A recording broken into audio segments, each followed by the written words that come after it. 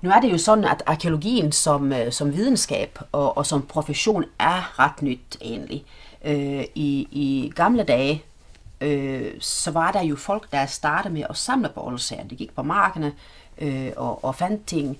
Og, og det er typisk apotekere og tandlæger og den slags, som har gået op i det her, og de har samlet på nogle flotte ting og lavet nogle fantastiske kort øh, på, på de her på fundstederne.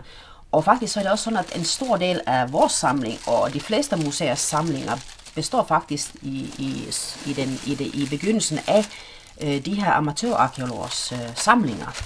Det jeg har her, det er faktisk sådan et rigtig godt eksempel på øh, noget, vi har fundet i vores samling, som mm. er kommet ind øh, i det, som du kalder gamle dage, altså i starten af 1800-tallet ser det ud til.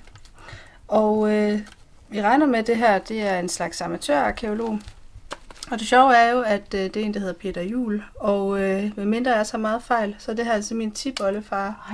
Og øh, i denne her dagbog her, der skjuler sig en virkelig spændende historie. Men den vil vi altså ikke fortælle her. Den skal I vente indtil det bliver den 1. december. Og så vil vi godt lytte slået for, hvad det egentlig er, vi har fundet her i.